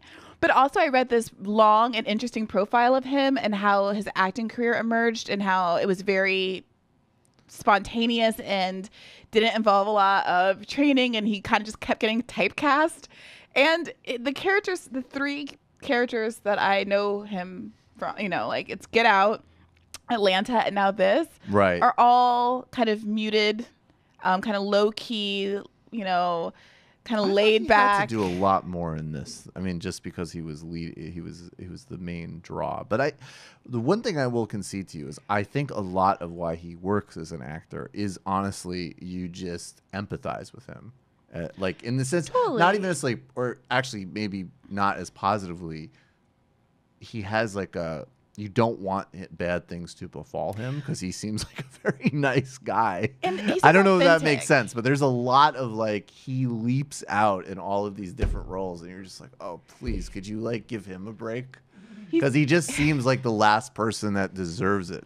Well, in this review, they were saying Yeah. there, uh, this uh, article about his life or whatever was saying that he's very um, has these emotive eyes and all this Yeah, stuff. But I think it's it's just that he's very authentic, and even in the um, there was an anecdote where uh, a casting director or, or somebody was said to him. You know, I'm just gonna save your picture because you have this look. You have that like down and out look, like you have this like struggle bus look about you. Well, that's kind of true. And it, you know, like, Yeah, it just feels like he's not getting wrong. cast in these as a type, and that's not necessarily Right. his fault. Fault, and maybe he has even more range. So his next seen. role, he needs to play like a fucking gangster or like some or like a sex fiend. like a he needs like to, just an animated, perky. I, I don't. I just can you do animated and perky again, do- please, Brie? I like that. I like your. I'm just saying, like that's what we haven't. just like, you know what I mean? Animated, perky. I mean, have you, I haven't seen his. You know. Well, wait, I have a question. I want to get back to the bigger picture of the movie, but I, but uh, I'm just want to, uh, not we're not going to get personal, but I just want to establish a Brie standard here, because I have to be honest. A lot of women, and I am not going to say how I know this. I don't think they take like the tight, technically you've been broken up with for three hours rule quite as literally as you do. First of all, we don't know how much time passed. Oh, stop! You always movie. do this. You, No, it was very short period of time. Even if, it, but it, if, even if it were a short period of time, like he was the bad actor in the relationship. She, if she had broken oh up yeah, with like him and then ra- her around in a nice car and taking her out for dinners. What a terrible guy! What an asshole! he literally was a strike breaker. well, that's the politics. That's, the That's the whole point. She was mad at him for his politics. You can't be mad at her. She was well, no, but she was um, conversely the the paradox, and actually, T made this point to me, which I agreed with. Like, when you go to her art space world, where she's doing this, like, frankly silly performance, and like, there's like this idea that it's really very elevated, and it's not. She's just kind of being debased. He's the only one. Like even when he's the strike breaker who's giving into all of his indulgences, he's still the only one in that more elevated environment who can kind of make the obvious moral call because he cares about her. I think that scene was very difficult to read. If Mm. I were going to put my finger on what I thought was the weakest part of the movie, Yeah. it would be that scene. Now, I've heard Boots Riley say that he thought that her character was the closest to representing him. And I've heard him talk about, uh, and I read about this in my piece, about the limits of um, kind of political art and how if Right. it's not connected to a movement, then it's Yeah. useless Right. and like like literally and figuratively performative. Um, and so I don't know what to do with that scene, but it could be read as I don't know paternalistic. Like I don't I don't know how to read his intervention on her behalf in that room because the, the movie didn't come back and prove him right that he should have intervened. You know, she never had some big wake up call where she was like, "You're right, I didn't like." How that went down, or I didn't feel Mhm. like I got what I wanted to get out of that performance. For all we know, that's exactly how she wanted it to happen. She got a lot of money, she sold a lot of pieces, you know, advanced her political agenda, and everything was cool. So Mhm. I, it just, I think, feel like that was a loose end. Yeah, that's fair. I mean, I had a different kind of read on it, but I think it's totally fair to say it wasn't. It wasn't. That wasn't a closed loop at all. Yeah. That wasn't a closed loop at all. But I just, but just to be clear, first couple of hours, we're good to go. Uh, if if you are the person who was broken up with, Wait, wait yeah. a second. If you're the person Totally. who's broken up with, then Wait. you don't have to sit around Didn't waiting she for that. Did she break up with him? Didn't she break up with him? well, because of hi- trash behavior on his part. Yeah, so you're basically just it's always the man's fault. That's I think where it's the that's man's where we're at. yeah. Yeah, it's just always the man's He fault. He literally was a strike breaker. What kind of politics are on the Michael Brooks show where we're defending the strike breaker? I'm not. over I'm. this Oh, oh no, no, organizer. no. I'm just trying to make the rules really clear. That's what I'm trying to do. This guy. I have totally been was of a the. I. suave, I have always. sign-slinging I have union always. organizer. He wasn't that cool. I have always practiced the policy of whenever that has technically gone down. Oh yeah, absolutely. I totally agree with that. I just wanted to make. I just wanted, frankly, Bree Joy buy-in on that. I look. I think as soon as the text goes out, you, me, frowny face, you're good to Here- go. Here's the rule. That's what I think. You can do what you want to do in any circumstances. Sorry, Oh, these are like super slippery today. Um, in, in any circumstances, but you just have to live with the consequences of what you do. It's like when people say, like, "Are you allowed to hook up with a friend's ex?" Mm. Sure, but you have to be like, you have to accept the fact that maybe you're not ever going to be friends with that friend again. My board doesn't work. Uh, yeah. No, that's true. Well, okay. And I agree. she should have went with the organizer. Totally. She should have stayed with him. I feel like they let them kiss and let them have sex because they were making up for that Romeo must die they didn't moment. have sex. They totally did. She They and the totally organizer? Did. I think she yes. said she No, she said she did everything but. everything but Like, like, like, like, I think the they. kitchen I don't think she I went think in. I don't think he. I don't think they technically. I, Okay. By Bill Clinton his reaction definition, was that they did. I don't think they went. s- They All had right. sex. I think they. Regardless, I think. Well, no, no. We're now we're figuring something out. Of course. I think it definitely depends on. Was I the only person who, when Bill Clinton said it depends on what is is, was like that? Exactly. I was That's like an awesome eight years point. old and not thinking about it. You didn't see it later? I was. I didn't come back to the country till 2001. There was a different scandal afoot. Right. There was other stuff going on. There was a little more heavy stuff than determining if blowjob constituted sex. But I, yeah, I do think that that wa- that scene was like payback for um, Aaliyah. The, the the non kiss in Romeo Must Die, which I've never I've never actually seen Romeo But, Must like there's. I this no whole thing where they won't let. Asian male, male characters be the love interest Oh, and actually see. interact. I see. Um, so that was the great like I see. Blasian love moment of cinematic history. Well, if And that's the make- case, then it really makeup. wasn't nearly enough then. And they should If that was the point, because then then you're in that limited case, you're totally right. Because if the point was was to be like, here's an Asian guy who gets to like like fuck the girl, then they should have given him a lot. It should have yeah. and a girl who gets to fuck the super woke sign slinging union organizer. What's this? Oh, sign slinging. Yeah, with the little- I don't know how little cool that was. I think we I thought it was we pretty might be getting a little bit of me and me and my X chromosomes over here. We're gonna, or or my the, the, the fact that I am love. Uh, a, a, all right. that, that I am the only one in the room, I believe, who likes men anyway. I'm gonna weigh in on this. Okay, no, that's uh, all territory to you on that. I just wanted to know the technical definition. So, m- on a more uh, serious note, you think this film synthesized capital and race in a really smart way? yeah, Touch that's the that. best part.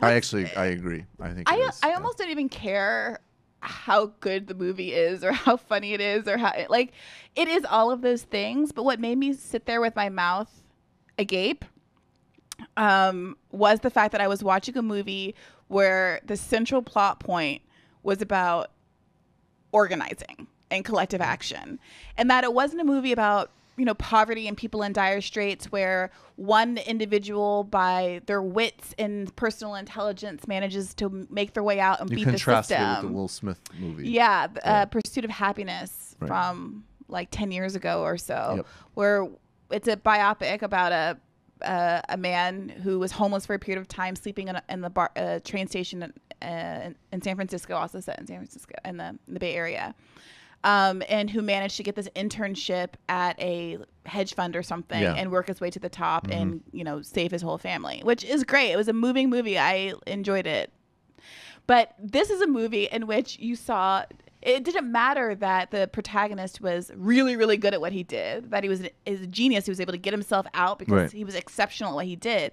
Everybody won at the end of the movie because everybody banded together and it wasn't just that he escaped a system and got himself into another worse but better compensated system they were able to actually change their conditions In sorry to bother you. sorry to bother you I think that that's very open ended. How it ended. I mean, it's no, they, they were taking the They right steps, but we strike. don't know if they're going to win. I well we mean, don't know if they're going to overturn yeah, I mean, the entire become- capitalist government but, But I think that's actually, I think. That's true. But I think the big question part out of the movie really is like, I left it as, this is how it is. You can, if you get real about it, maybe you have a chance.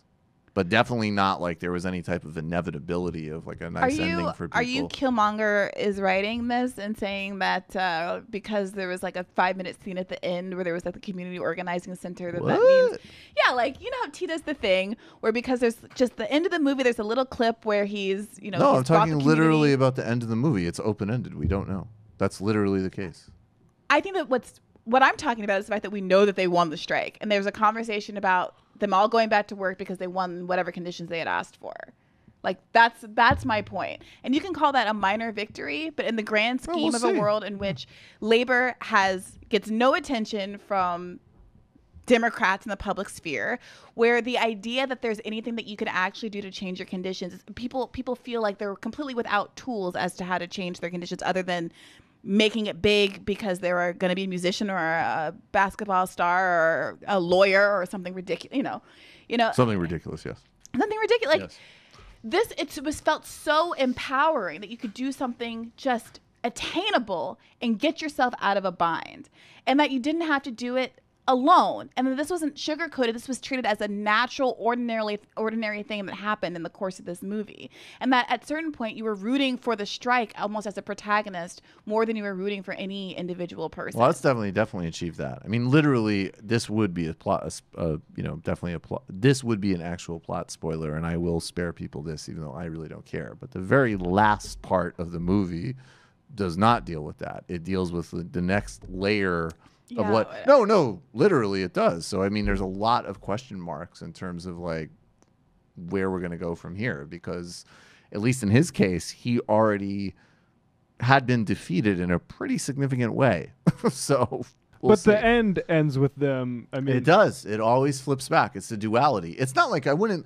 I wouldn't leave. I didn't leave the movie with a pessimistic read at all, and I think that was very refreshing and very much in contrast, actually, to a lot of movies that get a rap of being socially conscious. They're usually just various forms of poverty porn that leave you being like, "Oh my god, I should just do as many." You know, just have as much fun as possible here because that's it. Yeah. But I think that, but, but, um, N- No, I actually, I actually, in, in fact, I'm saying it as a compliment. I think it really pulled off, really underscoring how disgusting things are, how corrupted, how much of a serious uphill battle it is, and also was like, and it's totally achievable, and it can be achieved in these specific ways, and here's a taste of it. I think it actually did that very well. But I didn't leave thinking like, oh, cool, we got this. I thought like maybe that was a good step in the right direction. I don't think that. Yeah, I, I, I, don't think that I'm saying that either. What I'm saying is that it showed that organizing works. Yes, And in I a think that's definitely true, that's and he said as much in interviews. Full, filled with Afro pessimism, which relates back to this ridiculous Twitter spat that I'm in right now.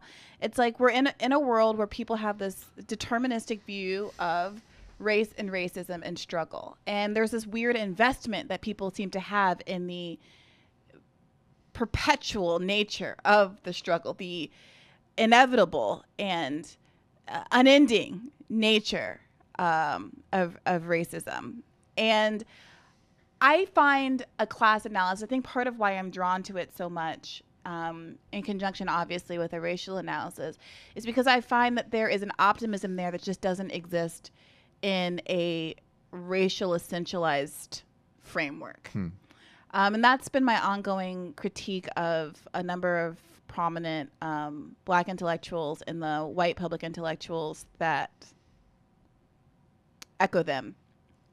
I can't explain the black intellectuals, but my strong suspicion of white intellectuals who echo that in such a limited way. I think in some cases, look, it's not a bad thing for white people to take racism seriously. So that's very defensible and correct. I also just get a sneaking suspicion. I mean, I said this to T because we were contrasting it with Get Out, which I also think. I think Get Out's a great movie. Get Out is actually technically probably a much better. Oh movie, yeah, frankly. yes it is. Right, like if we're talking on that level, it's a very so very tight and yes, coherent, and just every part of it smart and Yes. works perfectly together. Precisely. So if we're talking on that technical level, but the thing about Get Out, one that always struck me when I when I first saw Get Out, I was like, this movie is so good and so funny that like the Bradley Whitford character in real life would love this movie, which is why it's so devastating. But I also think that there is a way in which the essentialized inevitability analysis of anything, by the way, allows, um, you know, it allows really very relatively, frankly, racially and financially uh, privileged people to perform secular Christian penance without putting any material risk on the table. And that is I really agree. to me like I think just the unending you know Mark Blyth and it's funny doing conversations with him because he's it's not like a significant gulf but I mean he's from Scotland like there's a certain there is just like a certain kind of change in frame and growing up under Thatcherism and being blue collar and escaping economically but having a much broader structural understanding. And his joke that he always says to me he's like he's like okay like i'm a 50 something white guy. I'm an econ professor. I'm upper middle class. I'm straight. All you know all the categories. He's like i'm super privileged. I acknowledge that. I can keep all my money right? And he's like and he's and he was saying like it's the extent to which in his in his experience that the implicit answer to that is yes is a very big problem. So that's my read on the white side. It's like who doesn't want to simultaneously have a certain ethos of ethics and sacrifice without any of the actual follow through of you know cuz again, that's a, sorry to bother you also think did a good job of being like, yeah, you know like going on strike is fucking scary. Like I didn't, you know, and and and especially frankly, I think it caught him really perfectly in a, in an individual sense. He had an absolute right to be like, look, you guys don't have much to lose. I do. That's a that Um, yeah, in a neoliberal That's the environment. That's the trap.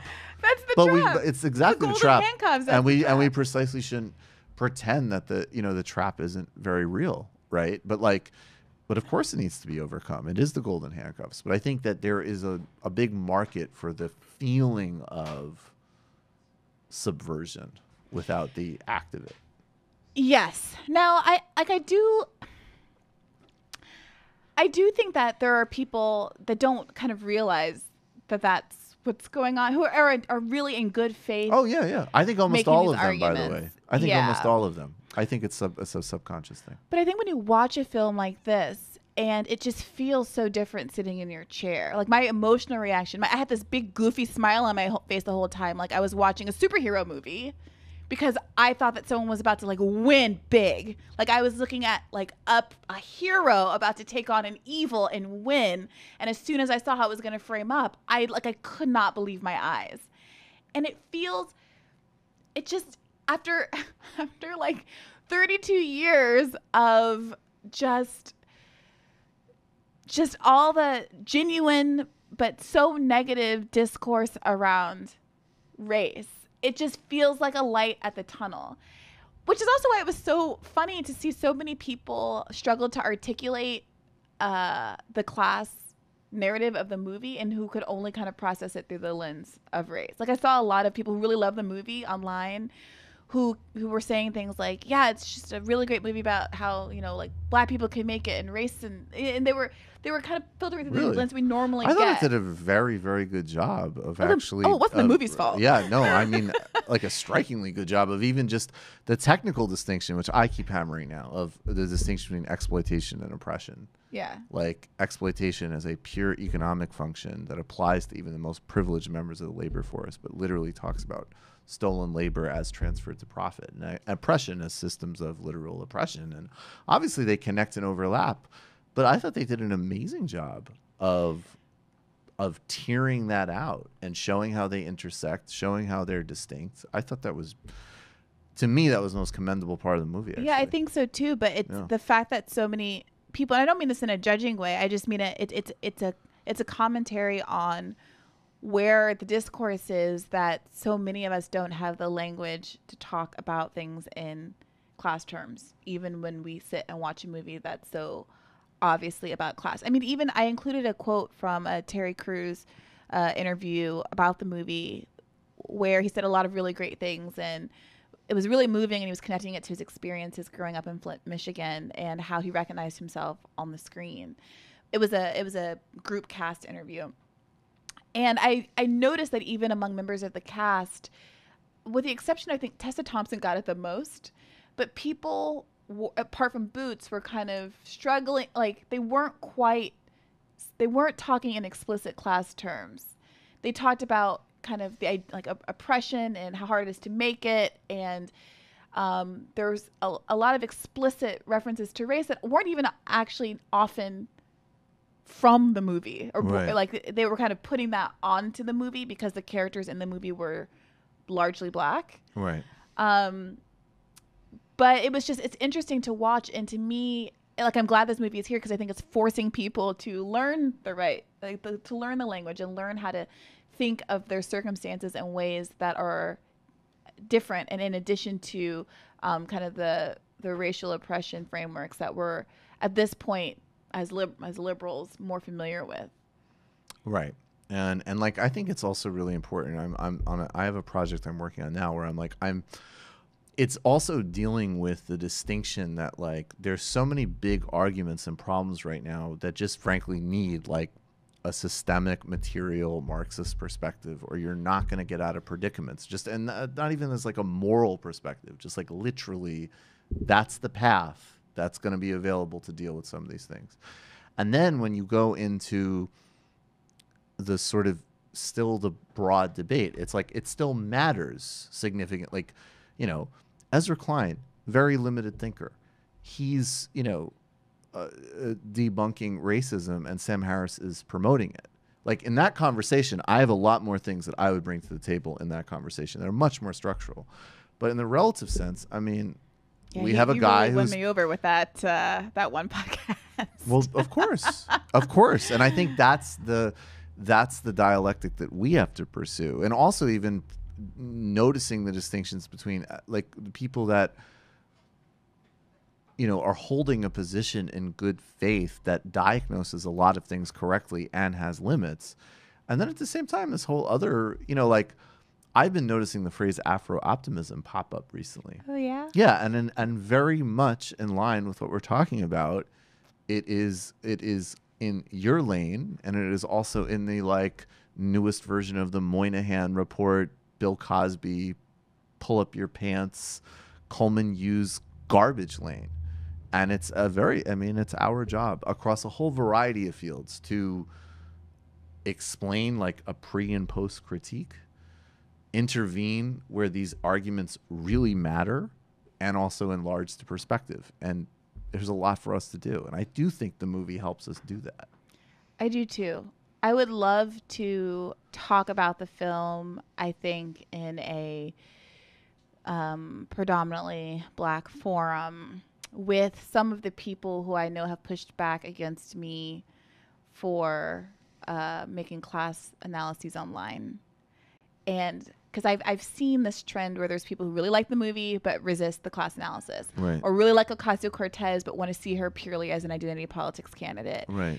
And it's difficult to have those conversations online, but the, the movie Ocasio Cortez figures like this, I feel like they open a door um, to breaking down people's um, kind of like preconceived notions about what it means to um, value a class analysis and it it the, these a movie like that or a person who is both you know a person of color and a genuine leftist it it it, it they personify um, you know uh, the contradiction that they, that they think exists between those two things and um, is enables some walls to be broken down. I'm working on it. We're doing it. Join us for a lot more. Oh, actually, really quick before we go to the post game, do you think do you consider Terry Crews to be a good actor? Yes. Okay, good. I just wanted to make I sure. Love I love Terry Crews. Yes, he's I an do. American hero. I do too, but I just wanted to make sure because we're just setting a lot of clear boundaries. So I'm gonna just say, if you're broken up, you're broken up. It doesn't matter who broke up with who or what, whatever the fuck. Sure, and you got to as deal with soon the as that, consequences of your actions on the break. I, I will deal with whatever consequences I choose to deal with, Brie. Excuse you. I, if I choose to not take responsibility for things, that's my choice. I'll choose that responsibility. Terry Crews is a great actor. Um, a little bit of smoke for the main actor, even though he seems like a really wonderful guy. No, I guy. like him a lot. Uh, but if he doesn't play, so you ready? In order to prove his worth to you, the next role he plays should be animated, right? There are What was the other word you used? Look, Animated and what? plucky. I think. Look, Plucky. Johnny and Depp has like an Oscar, I think, and he just plays the same character over and over again. That's not a slight. I feel like the best actors play the same character. I mean, I Yeah, saw. I that's basically I, I true. listened to him on uh, Comedy Bang Bang, and he basically, yeah, that's him. He's that dude. All right, then I take back what I said. He's not that great of an actor. Sorry to say, but Brie convinced me. I thought you were great. If you're watching this, Oh my goodness. all on her. Don't- I thought you were super talented, and but you know what? Here's what I would say. I think you're an incredibly uh, likable and talented dude. And in your next role, if you play somebody who is plucky and animated, you can bring us over. We were going to stay here together into the post game. You can join us by becoming a patron at patreon.com slash TMBS, as of course the great Brie is. Thank you, Brie. Please um, help us get, we're, we're closing in on 2000. Um, and it is going to help obviously continue to sustain and allow us to start thinking about the next wave of things that we might be doing as we continue to grow and expand. Woke Bros live show with the Count the Dings Network at the uh, at the Bell House in Williamsburg on October 6th. You can hear more about that soon. Thank you, super producer Matt Lech, chief economist David Griscom, super producer David Slavic, crew Briahna Joy Gray. She is going to be with us in the post game. Thanks, everybody.